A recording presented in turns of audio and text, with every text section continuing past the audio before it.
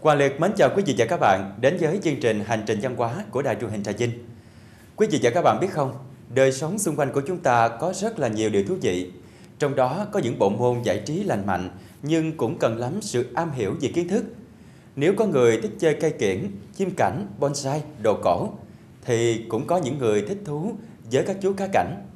Hiện nay cá cảnh là bộ môn có một cộng đồng riêng, thu hút khá là nhiều người tham gia. Vậy chúng có gì độc đáo? Trong chương trình ngày hôm nay, Hòa Liệt kính mời quý vị và các bạn cùng đến với cộng đồng chơi cá cảnh ở Trà Vinh chúng ta. Tại đây, rất nhiều loại cá khác nhau đang được nuôi với số lượng khá lớn. Bây giờ, mời quý vị và các bạn cùng theo dõi.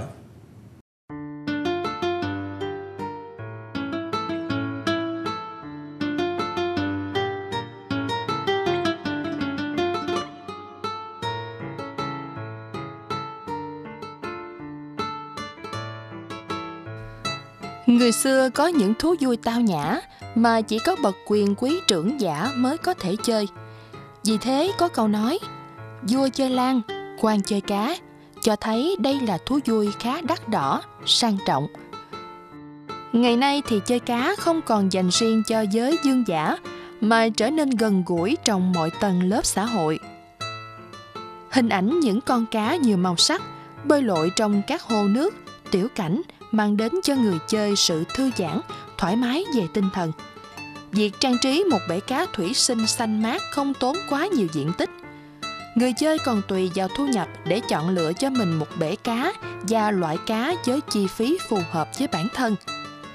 Hiện có rất nhiều chủng loại cá cảnh, từ những loại cá bình dân, dễ nuôi như cá vàng ba đuôi, cá bảy màu, cá đuôi kiếm, cho đến những loại cá quý có giá bán cao – khó chăm sóc như cá rồng, cá chép coi, cá la hán.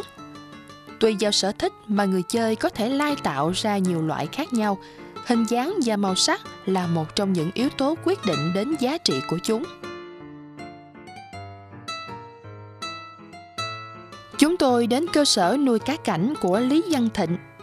Hiện đang nuôi hơn 400 hồ với nhiều loại cá khác nhau – từ dòng cá phổ biến dễ nuôi đến các chủng quý hiếm, giá thành cao.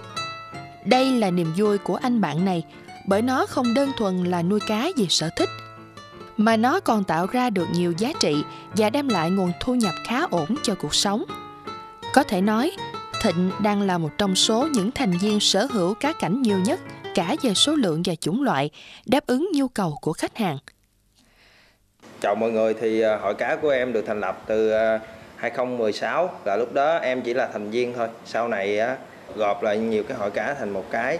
Khoảng vào à, cuối năm 2019 thì em mới thành lập ra cái à, hội cá mà có in cái logo này.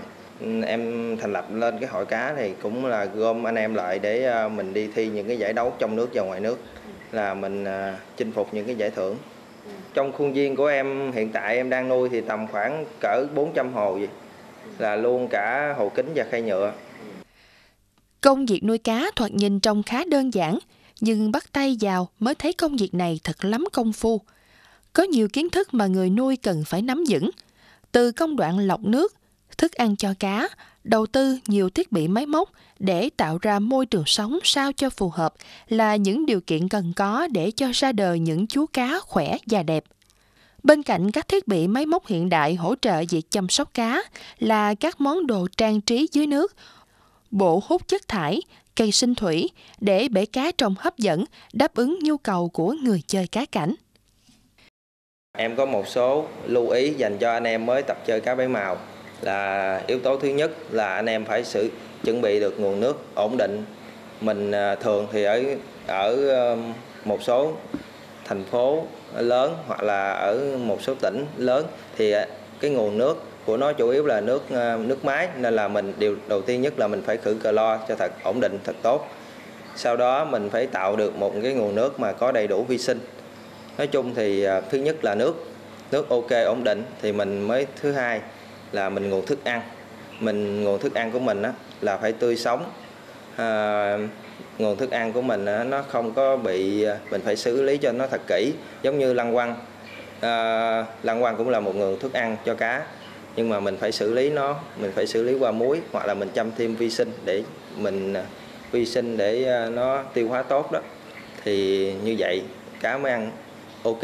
Còn à, thứ ba nữa là anh em nên là nếu mà anh em mới tập chơi nên chơi những dòng cá phổ thông trước để hạn chế rủi ro hoặc là anh em nuôi một hồ anh em phải à, chia ra à, anh em nuôi một hồ một hai cặp một hai cặp vậy nó sẽ hạn được chế được rủi ro hơn thứ tư nữa là anh em phải à, tự rút kinh nghiệm cho bản thân. Đó nhưng đó là một cũng là một cái điều quan trọng. À, kiểu như là mình phải học hỏi kinh nghiệm từ nhiều người khác. Hiện tại thì trên mạng xã hội đã rất là nhiều à, cái à, ý kiến của một số youtuber hay là tiktoker người ta sẽ chỉ mình thì mình lên trển mình thì nói chung muốn học cái gì thì mình phải tìm hiểu cái đó.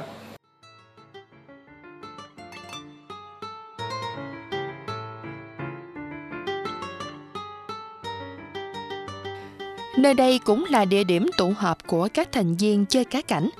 Hiện nay, thú chơi này khá phổ biến, người chơi cũng ở nhiều độ tuổi. Nhóm chơi cá cảnh không giới hạn số lượng thành viên. Họ từ nhiều nơi khác nhau đến để giao lưu, trao đổi kinh nghiệm và tìm hiểu những loại cá mới trên thị trường. Đây là hội cá, hội cá guppy của anh em về Vinh lâu lâu hội họp lần trao để trao đổi kinh nghiệm. Đây là dòng cá Lumbo cái tay dòng cá phổ thông nhất anh em nào cũng ờ, bước vô nghề guppy cũng đều chơi hết. Con cá này nó chủ yếu là cái tay bơi nó rất là đẹp tay bơi lớn luôn ngoài trời trong nhà đều được hết trơn để phòng để ờ, bàn làm việc đều được. Còn đây còn đây là mấy loại cá của anh em đang đang họp với nhau trao đổi kinh nghiệm nuôi. Dòng này. Dòng này dòng này là dòng get air ribbon nó rất là đẹp luôn nó như nó như con cá coi thu nhỏ vậy mà anh em nuôi được tới cá thế vậy là nó rất là đẹp nó phun lưng luôn. À, giá thành nó khoảng bao nhiêu anh? Này giá, giá thành nó khoảng ờ, bốn năm trăm đổ lên nữa. ở đây anh em ờ, hội họp nhau ở đây có nhiều dòng cá lắm. Nhiều dòng cá đẹp lắm như uh, lý trường nguyên là chuyên bộ coi rất, rất là đẹp luôn. Cái dòng bộ coi này thì em làm được gần 3 năm rồi bây giờ em lên số lượng nhiều lắm. À, con này thì nó em nuôi tầm khoảng 2 tháng là nó đạt được như vậy. Nó cũng hồi xưa thì nó cũng uh, hiếm lắm nhưng mà bây giờ thì nhiều anh em cũng làm rồi. Nó cá này thì nó mắt đỏ chứ nó không có mắt đen giống con kia. Giống thôi nó không giống con Dumbo của anh Nghị. Cá thì mình sẽ bán theo cặp hoặc là trio. Một cặp là một trống một mái. Còn trio là nó một trống hai mái hoặc là một mái hai trống con cá mà đạt sai bố mẹ là mình khoảng hai tháng rưỡi là nó bắt đầu sinh sản. Và nó à, mình nuôi cá con là ban đầu nó nhỏ lắm chị mình phải nó không có ăn thức ăn được mình phải cho ăn artemia rồi sau đó mình mới từ từ mình mới cho nó ăn trùng được ăn trùng chỉ. Rồi nó rồi mình phải trải qua nhiều cái giai đoạn giống như mình mỗi ngày mình chăm sóc đó, thì mình phải coi coi con nào nó không đạt chất lượng thì mình phải loại nó ra chứ không có để chung được để nó sẽ bị nhiễm cái bộ à, cái cái bộ gen của nó vô cái, lại mấy cái con đẹp. Cho nên mình phải kỳ công tỉ mỉ lắm. Nó tùy theo con đẹp, con xấu, mình sẽ có cái giá trị kinh tế nó khác nhau nữa, giá giá thành nó khác nhau chứ không phải nó đều nhau. Cho nên là để ra một con cá đẹp là anh em tốn nhiều công sức lắm chứ không phải là nó chuyện đơn giản. Tại vì nuôi con cá con cá tới bán được là khoảng 3 tháng mới bán được mà trong khi đó là mỗi ngày phải cho ăn rồi phải thay nước rồi phải chăm sóc nó kỹ lưỡng lắm. Ở đây thì à, anh em còn có làm phương ghét là của bạn Vũ thì bạn Vũ này chuyên làm phương ghét Dạ thì ờ, cơ duyên đưa em tới con cá bảy màu này là em học xa nhà năm 2018 á, thì em thấy ờ, buồn quá tới năm sang năm 2019 á, là bắt đầu em bắt đầu nuôi tới con cá bảy màu này để em nhằm kiếm niềm vui cho bản thân em thôi ban đầu là vậy kiểu xa nhà có thêm ờ, nhiều mối quan hệ vậy á, giúp đỡ em được rất là nhiều thứ về niềm vui cũng như là có động lực á mình tìm ra được cái động lực sống cho mình bản thân của mình. Xong rồi, ờ, rồi bắt đầu em lai like ép đẻ ra thì nó cũng kiếm cho em thêm một chút kinh tế để em trang trải cho cái sinh viên của em. Thì dần dần ban đầu em nuôi từ năm cặp giống rồi em nhân giống ra thì tới bây giờ em đang nuôi ở có cái mô hình em vừa nuôi phòng trọ của em luôn vừa vừa em ở trên gác còn ở dưới em nuôi là tầm à, 35 hồ. Đối với nhiều người con lớn lên ở vùng quê, cá là tuổi thơ gắn bó trong đời sống hàng ngày. Đến khi lớn lên, cá trở thành thú vui trong cuộc sống.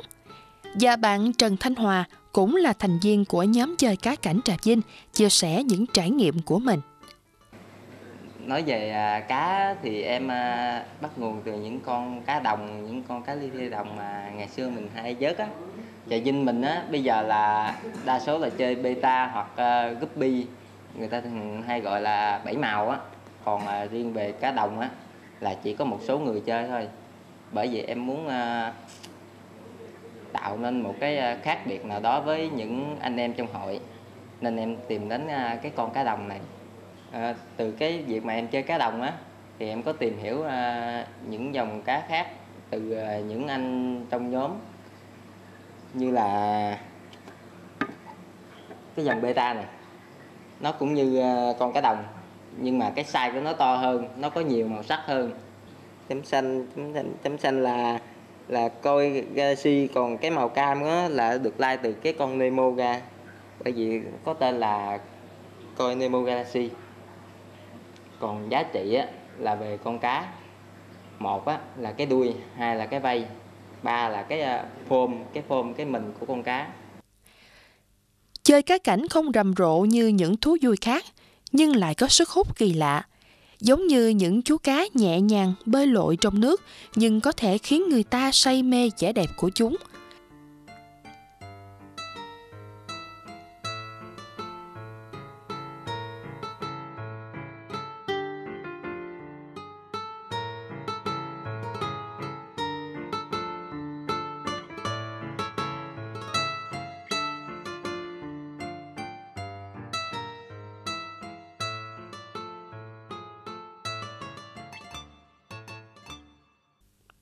Ngày nay, người ta nuôi cá cảnh không còn chỉ là sở thích, mà nó còn mang nhiều ý nghĩa trong đời sống. Nuôi cá cảnh không chỉ là để trang trí cho không gian sống thêm tươi mới, trong lành và gần gũi với thiên nhiên, mà còn giúp xua đi những cảm giác mệt mỏi của cuộc sống hàng ngày và tạo nét riêng cho người chơi. Bể cá cảnh được xem như một thế giới thu nhỏ. Việc trang trí để tạo ra một bể cá cũng rất kỳ công đối với những ai yêu thích bộ môn này. Người ta thường kết hợp nhiều loại cây thủy sinh, đá cuội với các loại cá lớn nhỏ khác nhau để phong cảnh trong bể cá trở nên sinh động. Cá cảnh là thú chơi lành mạnh thu hút nhiều đối tượng, góp phần làm đẹp cho không gian sống.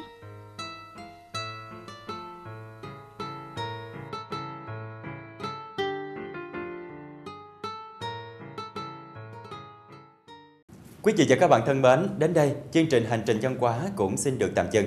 Trong chương trình kỳ sau, kính mời quý vị và các bạn cùng theo dõi những điều thú vị đằng sau nghề nuôi cá cảnh với những giá trị quý giá đối với cộng đồng. Hòa liệt chân thành cảm ơn quý vị và các bạn đã quan tâm theo dõi. Xin chào tạm biệt và hẹn gặp lại.